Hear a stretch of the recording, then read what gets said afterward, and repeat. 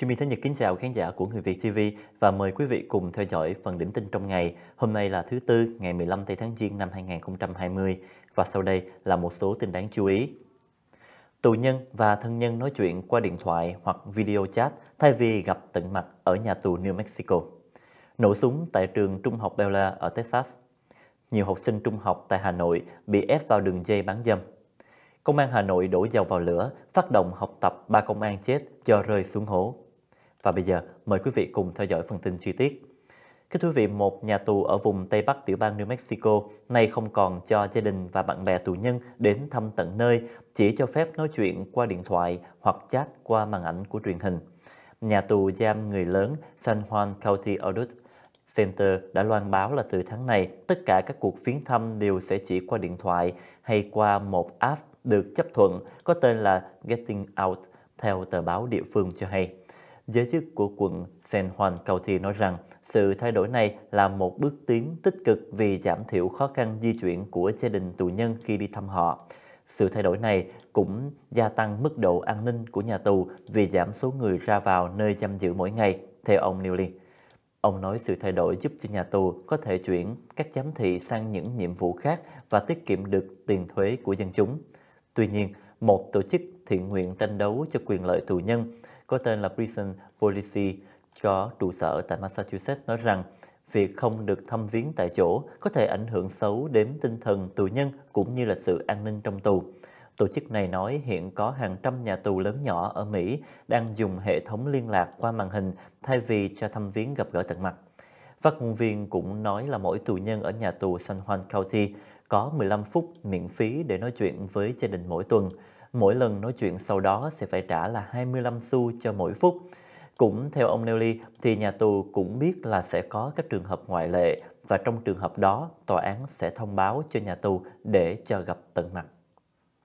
Quay sang phần tin khác, thì cái quý vị hai người bị bắt vào tối ngày thứ ba do liên quan đến việc một học sinh 16 tuổi bị bắn chết tại trường trung học Bella High School vào giờ tan trường. Theo tin từ giới chức thành phố Bella và quyền giám đốc học khu Houston đã cho hay. Kính thưa vị, theo tin từ tờ báo địa phương Houston cho hay là cảnh sát Bella nói là họ bắt giữ hai nghi can này vào lúc khoảng 7 giờ 30 phút tối giờ địa phương nhưng không cho biết thêm chi tiết. Hiện cũng không rõ sự liên hệ giữa hai nghi can và nạn nhân. Bella ở ngay cạnh thành phố Houston nằm trong quận Harris County, Texas. Vào khuya ngày thứ ba, điển lý quận Harris County, bà Kim Oak nói là văn phòng của bà đang tiến hành truy tố kẻ nổ súng, hiện chưa được cho biết tên. Bà Lê Thịnh lúc đầu nói rằng là trường trung học Bel Air 2 sẽ mở cửa lại hôm thứ Tư và tăng cường thêm nhân viên an ninh. Tuy nhiên, học khu sau đó loan báo hủy bỏ các lớp học ở trường. Nhân viên nhà trường vẫn được yêu cầu đi làm hôm thứ Tư, nhưng các học sinh sẽ đến trường ngày thứ Năm. Cái thưa quý vị, tin tức từ các cơ quan truyền thông cho thấy vụ nổ súng xảy ra lúc 4 giờ chiều, lúc tan học. Nạn nhân nghe nói bị bắn vào ngực và được chở tới bệnh viện.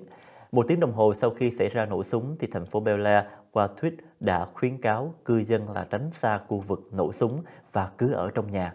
Cảnh sát ở Bel Air nói là không có việc tìm kiếm nghi can nào khác ở nơi này. Và quay sang phần tin đến từ Việt Nam, thì dưới sức ép của báo chí và công luận, Chủ tịch Ủy ban Nhân dân Hà Nội đã ra văn bản yêu cầu công an xác minh điều tra đường dây mua bán trinh tiết trẻ em ở huyện Ba Vì. Chiều ngày 14 tháng Giêng năm 2020, ông Nguyễn Đức Chung, Chủ tịch Ủy ban Nhân dân Hà Nội cũng đã ký văn bản giao công an thành phố này điều tra. Ông Đặng Hoa Nam, Cục trưởng Cục Trẻ Em thuộc Bộ Lao động Thương binh và Xã hội cho biết, sáng ngày 15 tháng Giêng, Cục này cũng đã có văn bản gửi cho Sở Động Thương binh và Xã hội Hà Nội đề nghị phối hợp cơ quan liên quan nhanh chóng điều tra vụ đường dây mua bán trinh tiết trẻ em tại huyện Ba Vì, thành phố Hà Nội. Theo ông Nam, trong các ngày 13 và 14 tháng Giêng, truyền thông trong nước đưa tin về việc nhiều nữ sinh có độ tuổi từ 14 đến 15 của trường Trung học cơ sở Khánh Thượng, huyện Ba Vì nghi bị dụ dỗ và ép vào đường dây mua bán tinh tiết. Cụ thể là Đài truyền hình Việt Nam đã phát phóng sự nghi vấn nhiều trẻ em bị ép vào đường dây mua bán trinh tại Hà Nội và hé lộ chân tướng của những kẻ mua bán trinh tiết của trẻ em ở Ba Vì, Hà Nội. Đường dây mua bán trinh tiết trẻ em này chỉ bị vỡ lỡ khi chính thầy giáo bắt gặp hai em học sinh lớp 9 được xe taxi đến đón.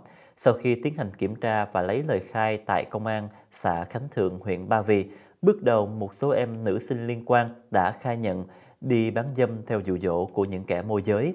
Nhận thấy có dấu hiệu tồn tại đường dây mại dâm trẻ em liên quan đến nhiều nữ sinh cấp 2, ngày 16 tháng 12, Ủy ban Nhân dân xã Khánh Thượng đã có phúc trình các cơ quan hữu trách của huyện.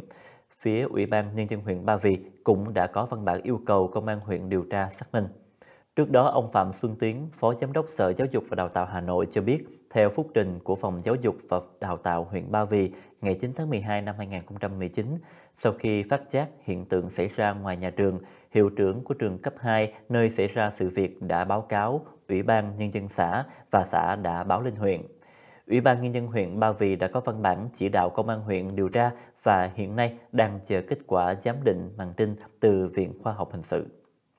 Và quay sang phần tin khác, thì cái thú vị hôm 15 tháng Giêng, cộng đồng mạng bàn tán về việc Công an thành phố Hà Nội tổ chức buổi lễ phát động học tập tấm gương chiến đấu hy sinh dũng cảm của ba công an tại xã Đồng Tâm. Cái chết của ba công an này đã diễn ra thế nào vào rạng sáng hôm 9 tháng Giêng vẫn là một điều bí ẩn, trong lúc Bộ Công an Cộng sản Việt Nam tiền hậu bất nhất về nguyên do. Một ngày trước, ông Lương Tam Quang, Thứ trưởng Bộ Công an Cộng sản Việt Nam giải thích trong quá trình truy đuổi các đối tượng từ ám chỉ người dân Đồng Tâm. Tổ công tác gồm 3 người là Trung tá Nguyễn Hữu Thịnh, Thượng úy Phạm Công Huy và Trung úy Dương Đức Hoàng Quân đã rơi xuống hố kỹ thuật sâu khoảng 4 mét giữa nhà Lê Đình Chức và Lê Đình Hợi. Hố không có nắp như một số vụ tai nạn hố ga. Trong khi đó, một số clip và hình ảnh phát đi từ hiện trường ở Đồng Tâm cho thấy đây là giếng trời thông thường của người dân sống ở vùng nông thôn miền Bắc. Nếu sự thật đúng theo như lời ông Quang, thì sự hy sinh của ba công an nêu trên là do họ bất cẩn chứ không hề dũng cảm hay vẻ vang gì. Tuy vậy, điều oái âm là cả ba đã mau chóng được công nhận liệt sĩ, nhận bằng tổ quốc ghi công, truy thăng quân hàm và còn được ông Nguyễn Phú Trọng, Chủ tịch của nước và Tổng bí thư Đảng Cộng sản Việt Nam truy tặng huân chương chiến công hạng nhất. Lễ tang và truy điệu ba công an diệu trù được tổ chức theo nghi thức trọng thể vào sáng ngày 16 tháng Giêng tại nhà tang lễ quốc gia. Trong lúc mạng xã hội có nhiều bài post thể hiện sự bất bình về việc trao huân chương không xứng đáng, các báo nhà nước chỉ được dẫn ý kiến của giới chức công an nhằm định hướng dư luận. Báo Công an Nhân dân đã dẫn lời ông Đoàn Duy Khương, Giám đốc Công an thành phố Hà Nội, rằng ba công an chết trong vụ đồng tâm là tấm gương vì nước, quên thân, vì dân phục vụ, vì bình yên cuộc sống, vì hạnh phúc mọi nhà. Cảm ơn quý vị đã theo dõi điểm tin trong ngày với Jimmy Thái Nhật. Hẹn gặp lại trong phần tin kế tiếp.